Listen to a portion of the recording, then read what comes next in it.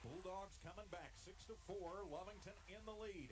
To Thorpe, bounce it into Jarrett, and they're going to be a foul call as I think they got a push foul on Wyatt. Yep, a hold actually. So second on Gomez, third team foul. Gomez has already picked up a couple of quick ones. It'll be Artesia basketball right of their own bucket on the baseline. Coach Mondragon going to come over. He's barking. It'll be Thorpe to inbound.